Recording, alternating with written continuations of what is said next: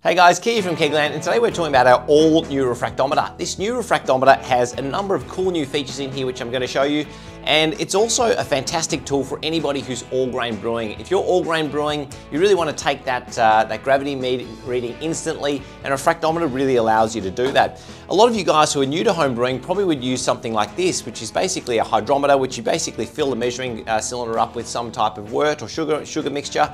You drop this in, give it a spin, and because the actual actual hydrometer is floating in the liquid, you're really measuring, you know, that, that, that gravity directly because you're essentially using gravity to, to come up with that reading.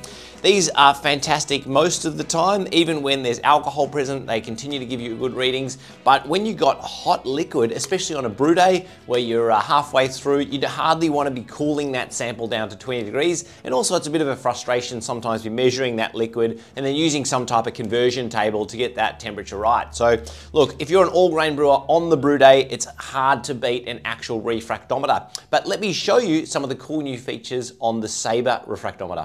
So unlike a standard hydrometer, which measures gravity directly, a refractometer, on the other hand, really needs to approximate that, uh, that measurement by using the refractance of light. So of course, inside the box, when you buy the Sabre refractometer, you basically take a tiny little sample like this with this pipette, you drip it on the little display here or the lens, you drop that in, and basically the more heavy that is, or the more dense that, uh, that, that sample is, the more it's going to refract that light and bend the light. And that amount that it's bending essentially is going to turned into a reading on the scale of the refractometer. So as you can see on the scale of our particular refractometer, we've got three scales here. So we've got Brix in the middle, which pretty much all refractometers have Brix because that's basically the refractance of light right there. But then we've also got sugar and wort. Now I will have to tell you when it comes to um, these types of uh, refractometers, depending on the manufacturer, some of them can be wildly out, which is why we've got two scales here, sugar and wort.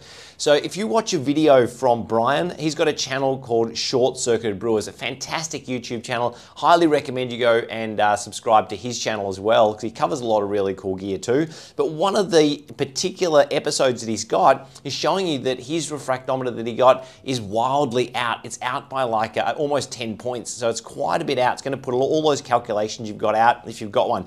And some of the manufacturers, you know, they, they basically say SG on the scale, but that doesn't mean SG wort. It might mean SG for sugar or fruit juice or something like that, and it's just being sold as a beer, you know, refractometer. So that can be really confusing for, uh, for newbies who are getting into it.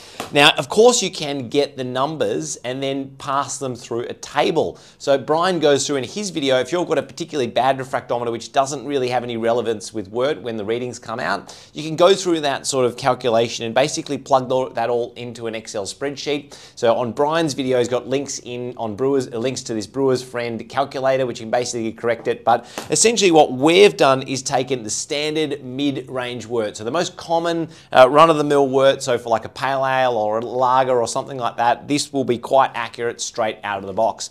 So what we did is we basically got our density meter and we took all these different gravities of worts and a whole lot of different readings, basically lined them up uh, on a graph, uh, you know, basically showing Brix and SG. Now, you could also buy one of these, but that you're going to be, you know, set back a couple of grand if you're going to buy one of these uh, density meters. So I don't expect most of you guys are going to want to fork out that type of cash. But um, what we did was we plotted all of that with the density meter onto a graph and then basically did the most accurate graph we could so we could come up with the triple scale. Now, our SG wort for most beers will be spot on. If you got a beer which has heaps of something like a um, you know candy sugar or inverted sugars, you're probably going to find the eh, you know there's a little bit of error there to be quite frank.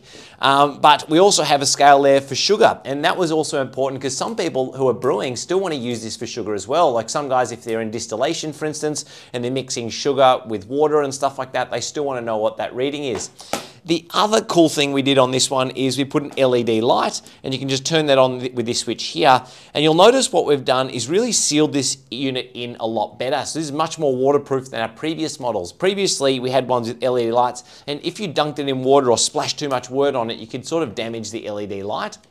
But this one is basically all sealed in, so that LED light's all waterproof, waterproof so you can dip it into your wort and it's not going to kill that, uh, that unit. The other thing we did is also switch over to rechargeable batteries. I really hate throwing out batteries and, uh, you know, I think the world's got enough e-waste and stuff out there, so we made this one rechargeable. It's only slightly more expensive to buy a rechargeable battery, I guess, um, and it, that, for that reason it also comes with this USB cable. So to charge it up, just plug into a standard USB like that, um, and then what you can do is use this magnetic end. So basically just clips on like that and then it charges the device up. So yeah, it also comes a little pipette and a little storage box like this. So look, I think this is a fantastic purchase. If you're all grain brewing, it's absolutely an essential tool for anybody getting into all grain brewing. So then you can take those readings really quickly, even if you're, uh, you know, fly sparging, you know, you can take that reading and you know if you can, you know, squeeze a bit more uh, wort out of that grain if you wanted to, you know, sparge a bit more water through for instance.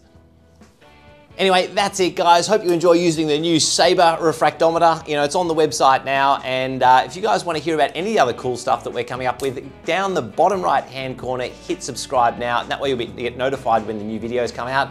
Or join our Facebook homebrew community group. Heaps of members now on there. There's literally thousands on there sharing tips and tricks on how to get the most out of our gear.